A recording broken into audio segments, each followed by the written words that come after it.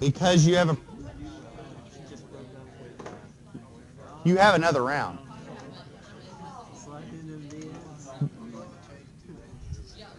Let, let, let, I'll say two things about that. One, you got two rounds, so you, you're not done. And two, um, the idea is for you to rate the whole nine weeks, not the two, but you got another round. So.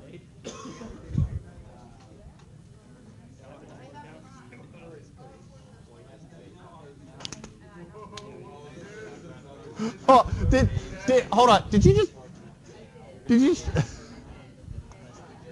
isn't that about like three years old? Is it? It'll be a while.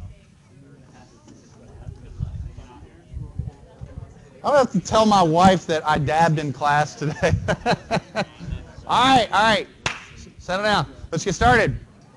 All right, first off, housekeeping. Homework number five uh, is due today. I've got them collected up here on the chair, so if you have not already turned them in, please do so.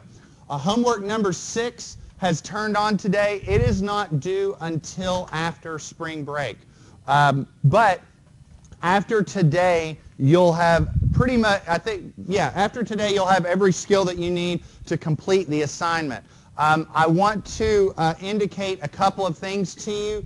First off, on problem number one, problem number one is actually an Excel-based problem. And um, the idea is for you to, to, uh, to uh, take the uh, uh, AISC column curve and actually plot it in Excel um, for a given yield stress. Um, my advice to you is that if you're handy with Excel, particularly if you use the if command, it will actually make your life a lot easier because if you um, recall, the AISC column curve is a piecewise function. If your uh, slenderness is less than or equal to 4.71 square root of E over Fy, your curve is computed with this equation. If not, it's computed with that equation. The if curve, it, it's not completely necessary. You could generate uh, a completely accurate graph without it, but it will make your life a little easier, just a, just a heads up. Um, and on problems two and three, the homework refers to LCX and LCY. Remember, LC is just KL. So if you see that, that's, that's what that means. I don't think it's really going to matter, but I just wanted to throw that on there so that everybody was clear with what's going on. Any questions? Okay. Um, today is, uh, so we're going to be going into the process of column design. Um, for those of you that have the FE exam coming up, um, if you have steel on the exam, this is a very possible type of problem on the exam. I, I mean, typically the exam uh, for steel will have beam design and column design because of what's provided in the manual and the nature of the problem. This is actually fairly easy to do as well. I mean, if you look at the equations for um, columns versus the equations for tension members, the equations for columns are a lot nastier. Yet the actual process for design is pretty easy. Um, you just have to account for a few details, which we'll discuss today.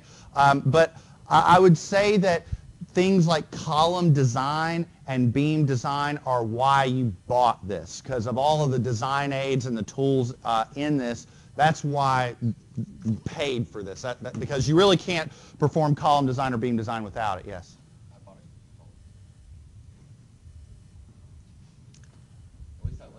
Oh, well, I, I'm going to talk about columns. okay. so, all right, let me go back to our, um, let's go back to here. I know I've, I've gone back to here a couple times because this, is but this is basically it in a nutshell. So we've been looking at columns, and up until now we've been looking at column analysis. There are three different methods uh, to analyze a column, at least three methods that we've discussed so far. Um, the first is to just use the equations directly out of the manual. Um, when you're using the equations, and really this is true for any of the methods that you're using, is you just have to make sure that you're handling slenderness appropriately. Um, so we looked at, uh, at an example where the slenderness computation was a little intricate to say the least, and then we utilized method number one to compute the capacity according to the column curves. Then we said, all right, let's look at method two and method three. And method two uh, is, or both of these methods are really to use a particular uh, design aid in the manual. So method two was utilizing the column capacity table that starts on page 412. Um, the big thing is that whenever you're um, uh, whenever you're going into this table, you have to uh, identify whether or not you're entering the table looking at strong axis capacity or weak axis capacity. If you're looking uh, up sections according to their weak axis capacity, you just look it up. It's, it's simple.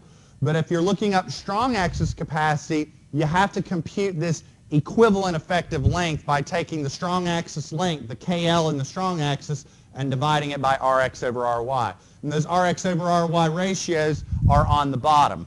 Okay? And we did an example uh, looking at that. We did an example also looking at the KL over R tables or the uh, critical stress tables.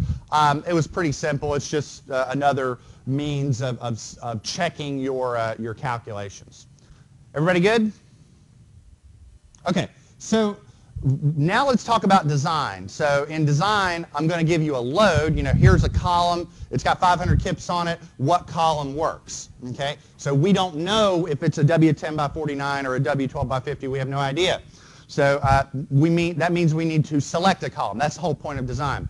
So we're going to use table 4.1 because 4.1 lists the capacity for every feasible column uh, as a function of their length. So um, one thing I will point out, this method works for singular columns and for columns and frames. And right now, you probably don't know what I mean, like what's the difference. The big difference between singular columns and columns and frames is the computation of K, your effective length factor.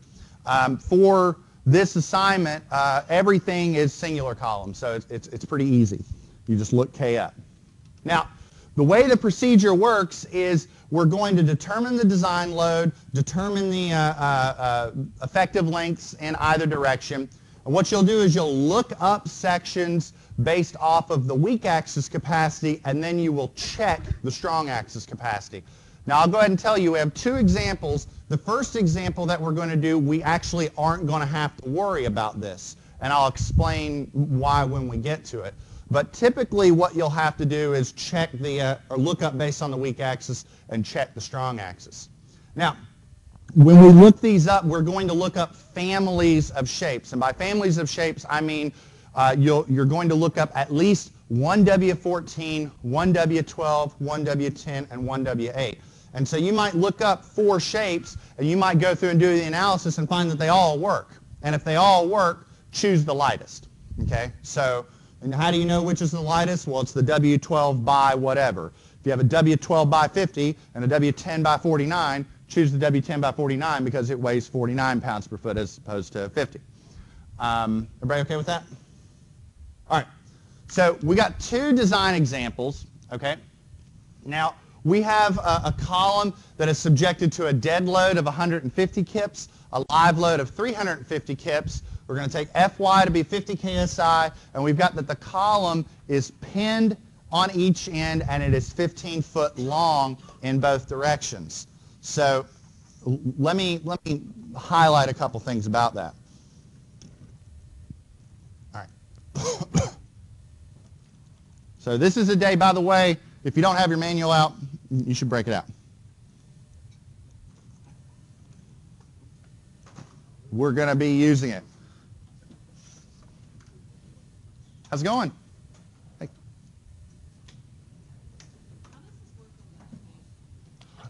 That's a great question. How does this work on the FE? And I will actually, I don't know, I don't have it on my, I don't have it on my drive, but um, the short answer is it's, uh, the, the design aids that we're talking about are actually in the manual. They're actually there. So I'll, I'll show you. Actually, you know what? Let me see if I got time and I'll show you that here in a sec. But let, let me get through the example and, and we'll pull that up. Um, first off, let, let's keep this simple. Oh.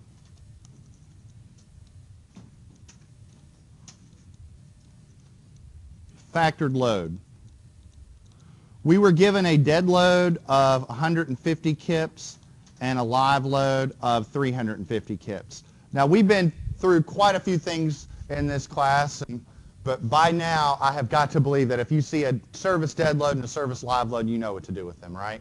Y'all know the drill.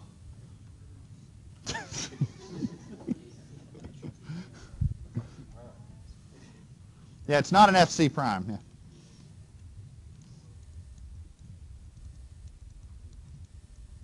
That's what we did in our alternatives report, right? So what, is, what does this come out to be? I mean, do I, do I need to, I mean, I, I think by now you all can do this. 740 kips. Do I have a second on that? Okay. We know our yield stress is Fy is 50 KSI. And, and I'm going to make a note here. Pay attention to this.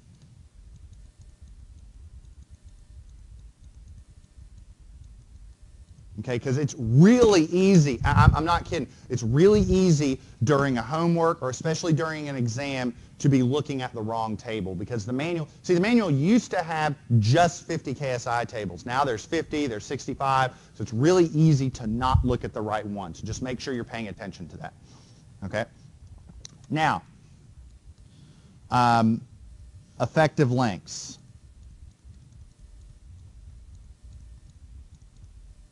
Now, what it said in the problem statement is that this column is 15 feet long and it's pinned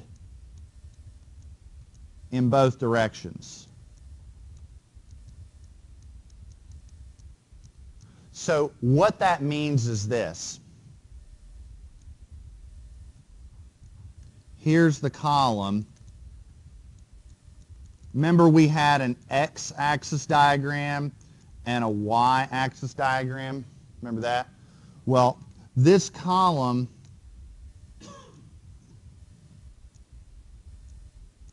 is going to be pinned along both directions.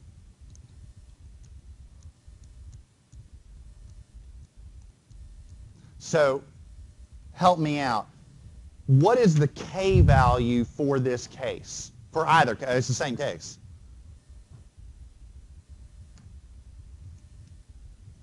You should be breaking out your AISC 15th edition steel construction manual and turning to the page that's tabbed that lists all the K values.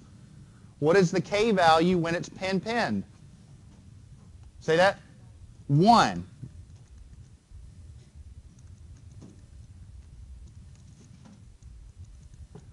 Is everybody able to find that on their AISC 15th edition steel construction manual?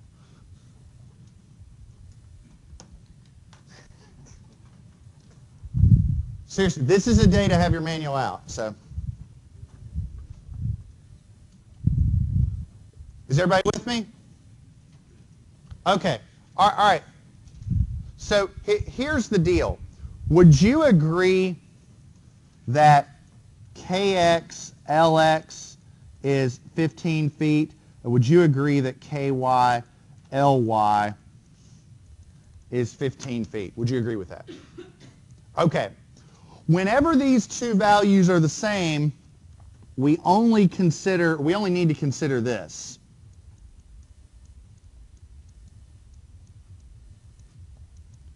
Okay, here's why. Okay, remember, we don't really care which segment's longer, what's the K value, or what. What that's not our end, you know, uh, uh, uh, thing that we're checking.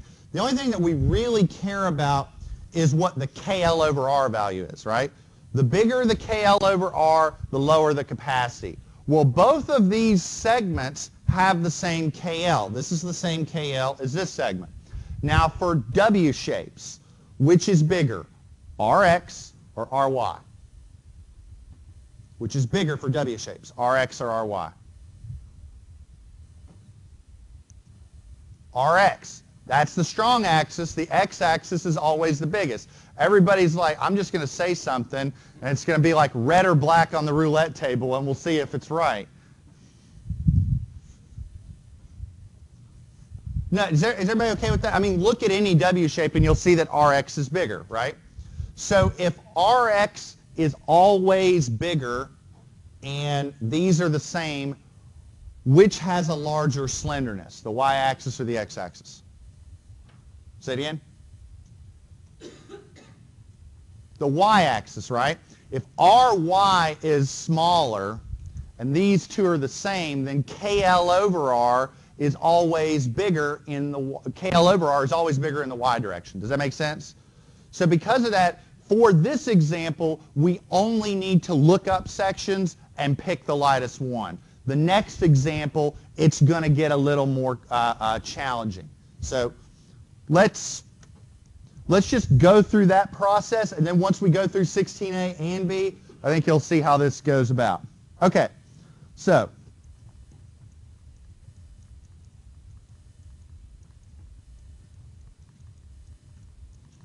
So we need to select some trial sections. So here are the values that are important.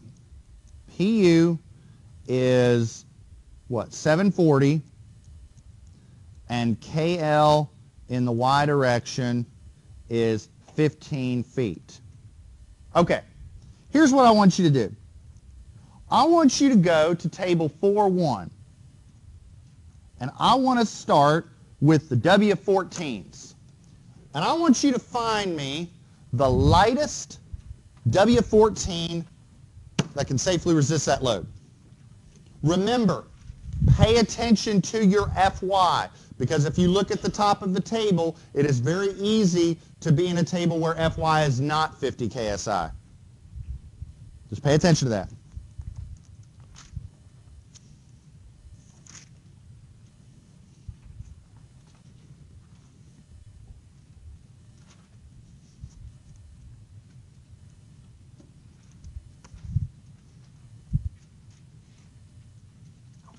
If you don't see green and blue, you're on the wrong table.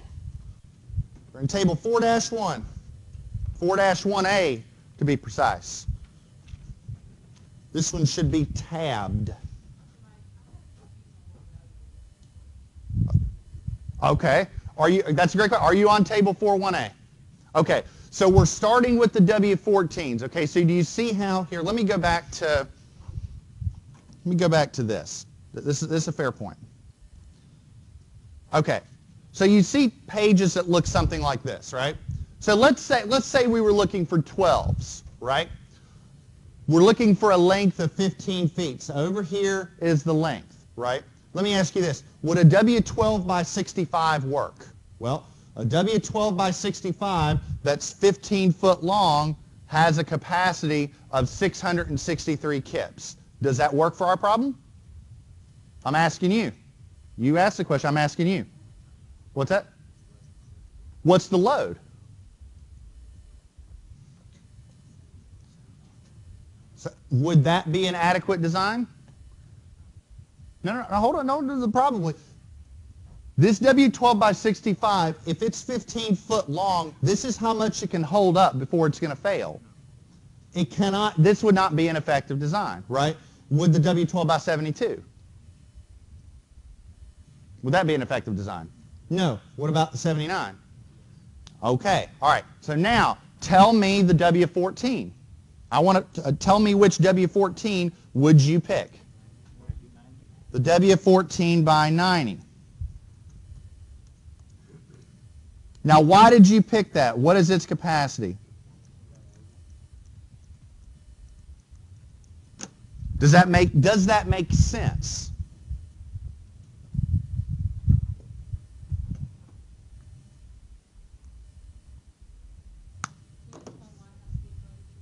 Because uh, the table is listing how much the column can hold up.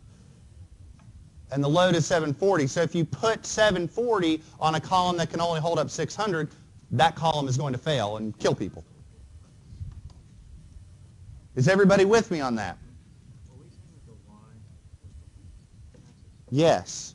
The, the, the table is listing capacities based on the weak axis. And since our weak axis and the strong axis are the same, we know that the weak axis is going to govern. This is not going to happen on the next example, so it's going to get a little more intricate.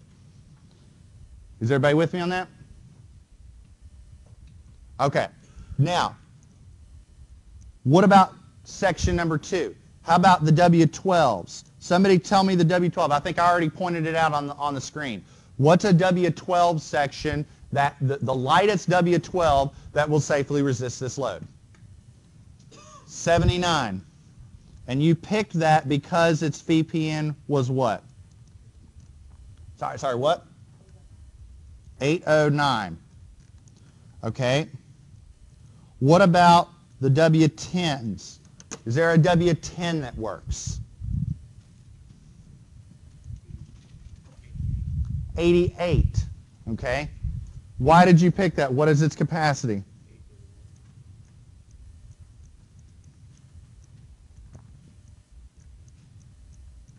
And what about the W8s?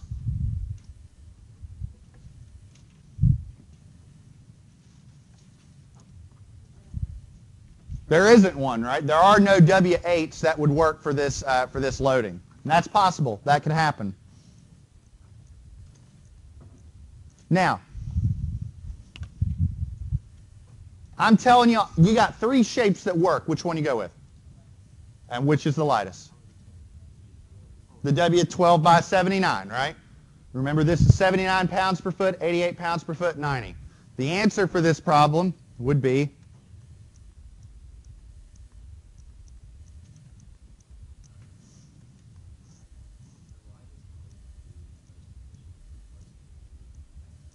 No, not necessarily. Not necessarily. This is a highly nonlinear problem, and so don't don't do that. I mean, it's not necessarily. And let me say one other thing. That is really not the case with beams. Not even close. Like you, what ends up happening is you group your shapes by flexural efficiency, and you know, you, you would pick this one just based on the math, but you go six or seven shapes up and that's the lightest. So, but that'll make sense later. So. Everybody with me on this? Okay. All right. Now let's, let's ramp it up a bit. Okay. All right. Here's another one. Okay, so this is 16B. So we're going to select the most economical shape to resist a factored load of 890. So I'm giving you the load and I'm giving you the, uh, uh, the FY. Now the column is 20 foot long, but the bracing conditions are a bit different. Okay, I've got different bracing along the x-axis than I do along the y. Okay, so here I'll, I'll transcribe all this information for you here in a sec, but I want to make sure everybody's clear on what's going on. So here's 16b. So we've got a factored load.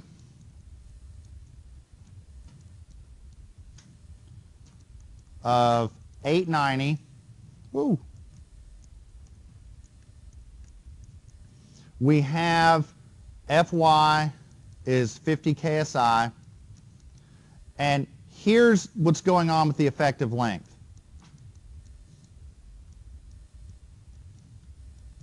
All right, so our x-axis looks like this.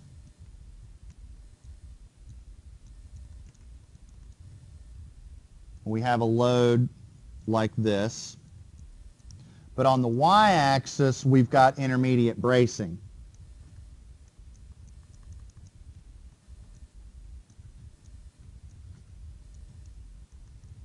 We have a brace here. and we have a brace here.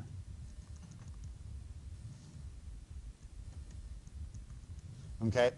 Now, I see nothing but pin-pin segments across the board. So what is K for a pin-pin segment? One. Okay?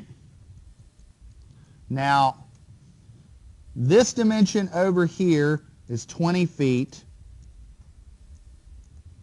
And this dimension over here is as follows.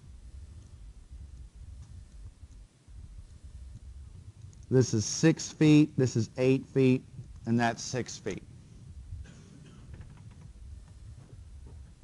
Everybody okay with that?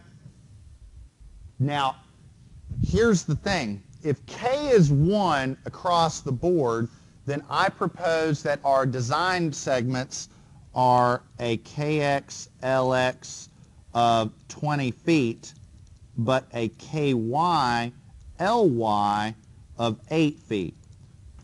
Now on the y-axis, why am I not considering this and this? Well, this is obviously the longest. Remember, columns get weaker the longer they get. So which segment am I going to check along the y-axis? It's the worst case scenario. But here they're not the same, right? These aren't the same values like they were in the last problem. The x-axis is different than the y-axis, and the x-axis is longer. So which axis governs, the x-axis or the y-axis? I have no idea. I have no idea because I don't know what the column looks like because I'm in design mode. So what I'm going to do is this.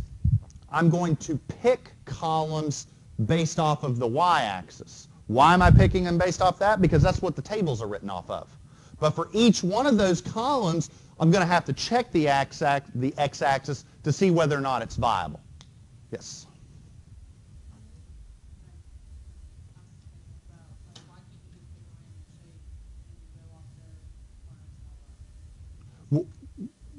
Yes, you're going to see what we do here. But each shape's different. Look at the Rx over Ry ratios. It'd be different if they were all the same, but they're not. Every shape's different, so you're just going to have to select a family of trial shapes and see which one works. See, that's why we select a family. We make sure and select at least one W14, one W12, one W8, so we know we're getting the, the most economical one. Make sense? Okay, so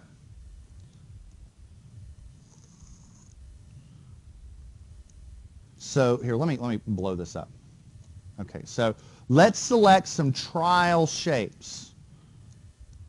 And the key word is trial. We don't know whether or not these are going to work because we're selecting based off of the weak axis and we have to go back and check the strong axis capacity for each of them. Now, we select P off of PU is 890 and a KL in the y-axis of 8 feet. So let's start off with the W14. Somebody tell me what W14 you would pick based off of a load of 890 and a KL of 8 feet. What's the lightest shape that you can find that works?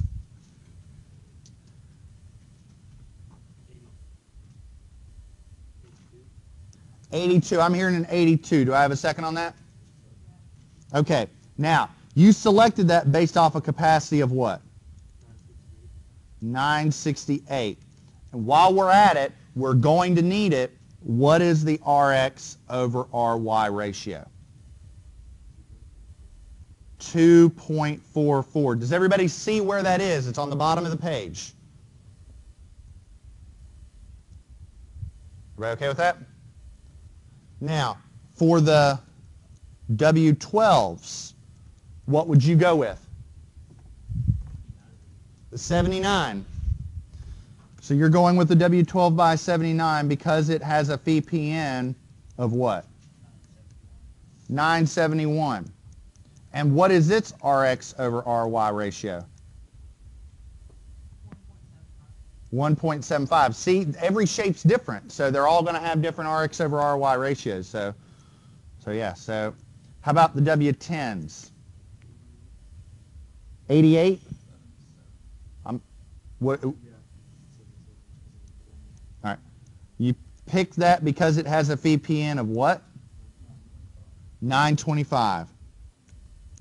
And what is its Rx over Ry ratio? And what about W8s? There are no W8s. Now, okay, before I move on, I want to make sure that everybody's crystal clear on how to select these segments. Is everybody okay with that? Here's the thing. I have no idea whether or not they're going to work. Okay? No idea. And, I, and the only way I'm going to be able to determine that is to do some math. Now, y'all remember linear interpolation, right? Okay, here's the thing. I want you to keep linear interpolation in your mind, but I also want you to be smart about it, okay? Use some common sense. Tell you what, do I have an expo marker up here? I'm gonna I'm gonna put this in really ah well. I'm gonna put this in really big letters because I want everybody to keep their eye on the prize with that number right there. The load is 890 kips. Okay, let's try section number one.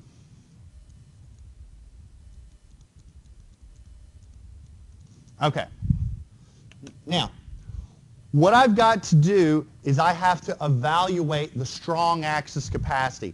I know that the weak axis works because I selected all of these sections with the understanding that they would have enough capacity along their weak axis. That's what the table tells me. But I don't know whether or not they have enough capacity along their strong axis. So what I have to do is I have to compute that equivalent KL. And the way that I do that is I take KX LX divided by that ratio. So what was KX LX for this problem? 20 feet. Okay. What is RX over RY for this segment? 2.44. Okay. And so what does that equal?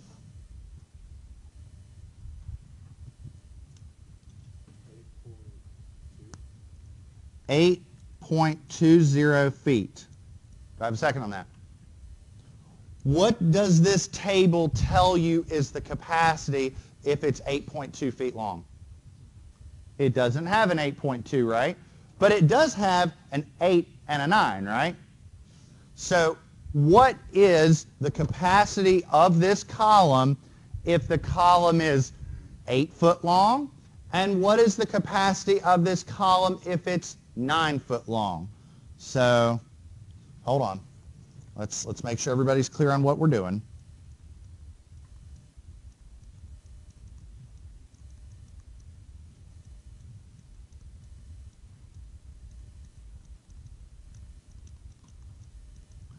We've got something in between, right? So what, what is the capacity for each of these? What's the capacity if this column is 8 foot long, and what's the capacity if this column is 9 foot long? Does everybody understand what I'm asking? 968 and 940. Is everybody able to find those values? Don't be embarrassed if you're not. Okay, just raise your hand. Everybody good? Now, yes. Thunder. My goodness. Don't listen to him. Now, I'm going to ask this question, and he figured it out, but we'll see if everybody else does. Would you agree that the capacity, like we're going to have to linearly interpolate to determine the actual value. Now before you start breaking out your Casio FX115 ES Pluses, let me ask you a question. Is it necessary to interpolate? Why? Bam, eye on the prize. It doesn't matter what the actual value is. We know that it's going to be between 968 and 940, and that's bigger than this. So does this shape work? Yes. So here, so, all right. The W14 by 18, or W14 by 82, is good.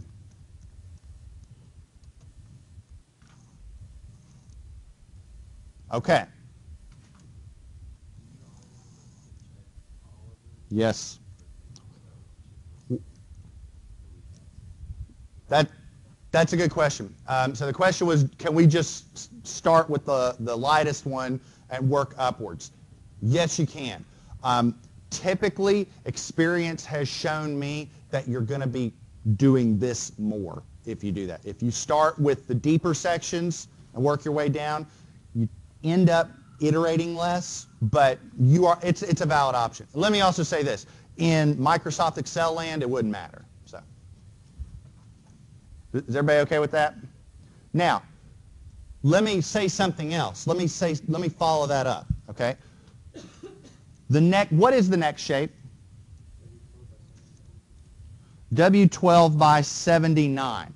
Okay, to follow up on your question, what if it was a W12 by 89? Would there be any reason to check it?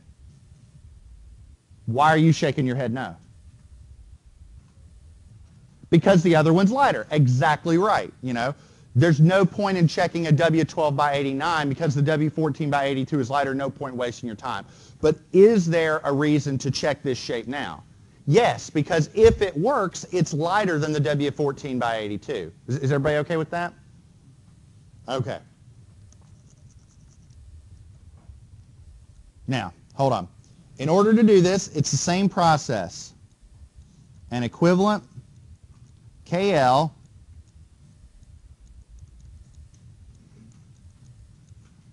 Rx over Ry. What was the Rx over Ry for this segment? 1.75.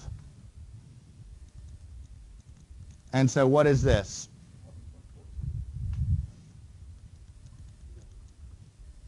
What? 4.2? Oh, you are getting overruled, my man. Well, let me say this there's act like you're going to see here in a second where actually being a little specific matters. I mean, you don't need to get it to 12 decimal places, but all right. So everybody agrees that like the table doesn't list 11.4, 4.2, or 4.3, but it does list 11 and 12, right? So let's look up the capacity for 11 feet and let's look up the capacity for 12 feet. So 9, 10, and this is what? 887. All right, let me ask you this. Should we interpolate this one? No. You're,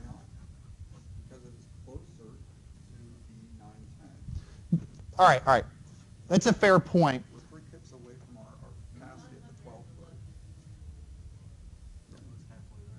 foot. It's not 111. Should be a little below 910. All right. I'm, I'm making this quick and easy. Look, look. I'll say this. In FE exam land, I'd probably follow your, your logic. I'm going to go ahead and interpolate just because it's in between. And since we didn't know whether or not we were 0.42 or 0.43, I'm going to go ahead and do it.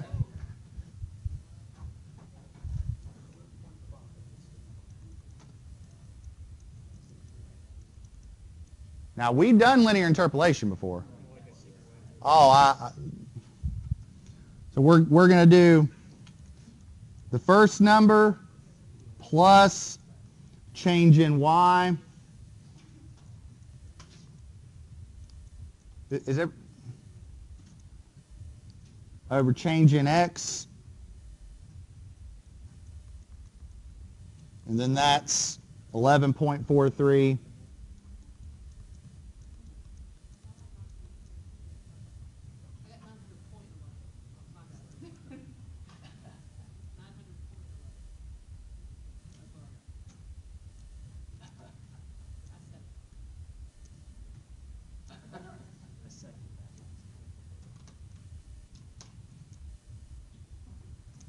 Sorry, I'm, I'm being. do, I got seconds on that? Yep. All right. Is this column viable? Yes. Yes, this is a viable column. So I would say that the W14, or sorry, the W12 by 79 is good. Now our next and and final column that we have so far is the W10 by what? Is it worth it to check this column? Yes, because if it works, this column is lighter than what we would, hold on, hold on, stop, everybody pay attention, pay attention. If we didn't do anything else, which column would you select? Column number one or column number two? Two. So we know right off the bat that if we didn't do any other math, we could pick number two and we'd be fine. We have a candidate, though, that's lighter, so we should check it to see whether or not it's, it's uh, valid. So we have an equivalent KL.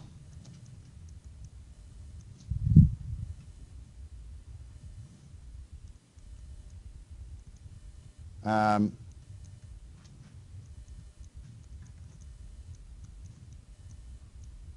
equals 20 feet over, what was this? And that's what? 11.56 feet. So um, we're going to look up capacities between KL is 11 feet and capacities between KL is 12 feet, or capacity between 11 and 12. So what are these values?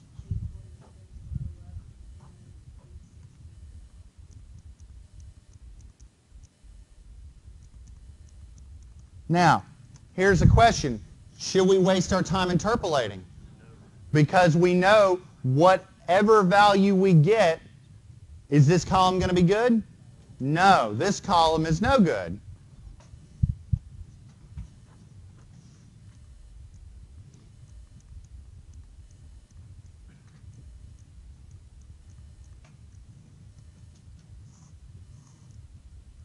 So, to summarize,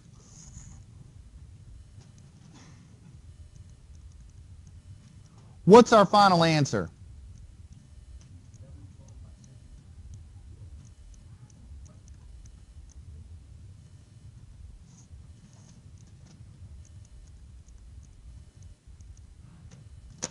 Boom.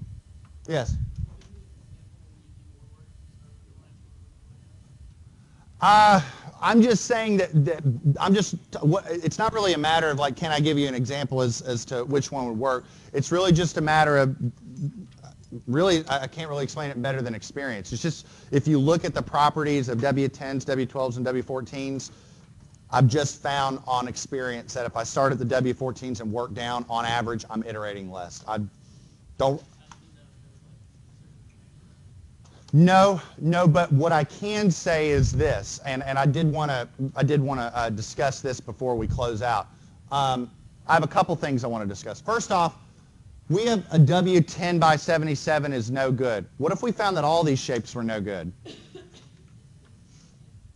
No, I mean, no, I'm saying the building is the building. The column's 15 foot long and what, say what?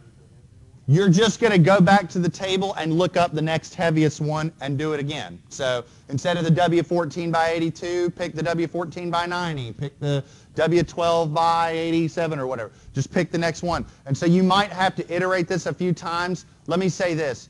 The times that you have to do a lot of iteration with this is when there's really big differences between KLX and KLY. When those two values get far apart, that means you usually have to do a lot of iteration. So uh, if those values are, are far apart from one another, then yeah, you're going to have to do some iteration.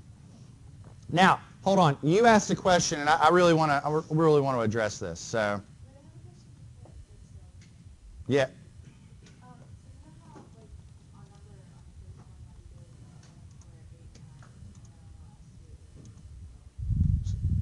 Sorry, say it again.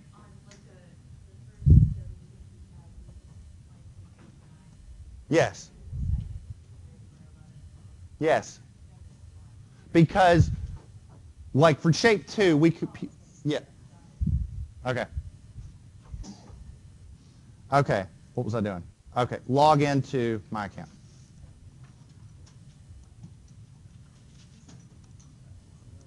I don't remember doing that. I don't remember. I don't remember what my account is.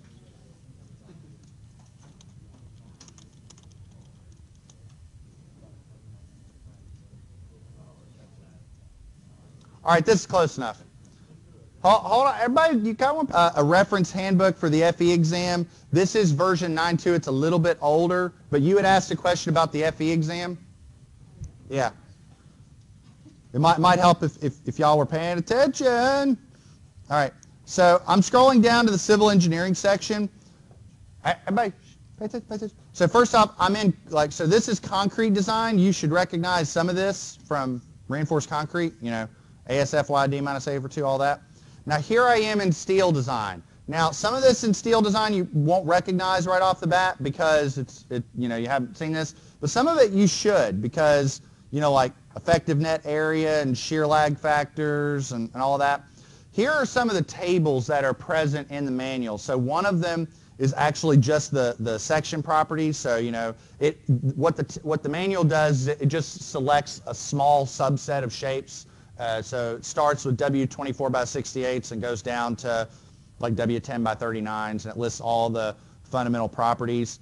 Um, there are some tables from the manual that are sort of clipped in uh, and, and reduced a bit. You don't know what this table is yet. This is for beams. You don't know what this is yet. This is for beams. But you should recognize this, effective length factors for columns. You'll be using this uh, here soon. We have the KL over R tables. This was the method number three.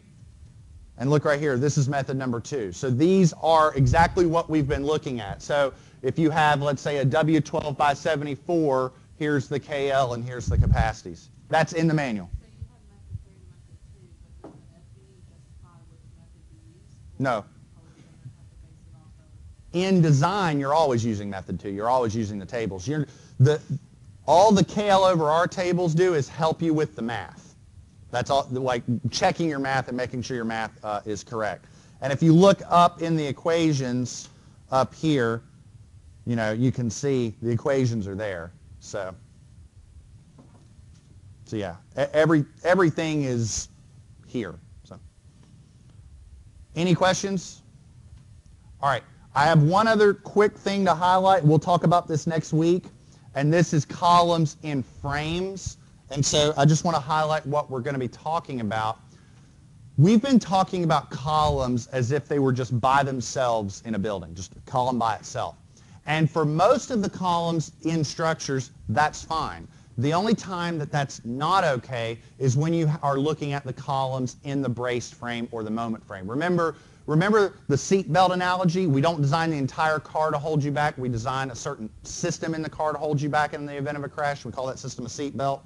Well, we don't design the entire building to withstand wind and seismic. We design a small subsystem. Okay, so um, what we're going to be looking at are the brace frame and the moment frame columns. So if here's a braced frame, I'm really only talking about these columns right here.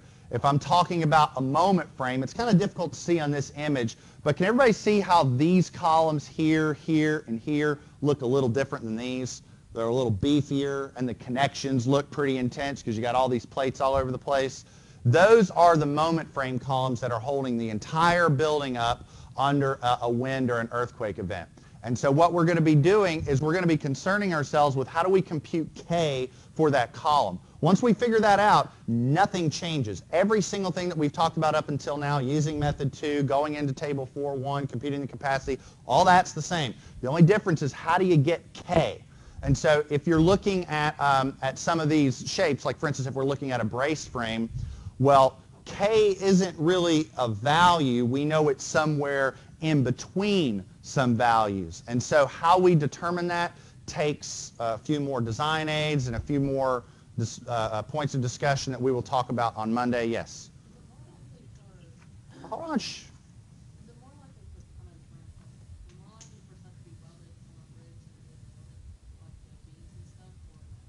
What? Um, I would say the short answer is it's it's usually a mix of the two. So for instance, a very common connection in a building to connect regular beams to regular columns is a shear connection. And so usually there's a hip bone connected to the leg bone analogy. The beam is connected to a plate that's connected to the column. So you might have that plate welded along to the column and then it's bolted in the field. Um, same thing here. You have this moment connection. You have uh, plate welded to the girder and then it's bolted to the column. So usually it's both. You could have just bolts. You could have like an angle and you bolt everything. Um, welding everything with beams and columns, that usually never happens because then you'd have to truck an entire frame to site. And that, yeah, that, that ain't going to work. Sound good? We talk about columns and frames on Monday. Y'all have a wonderful weekend.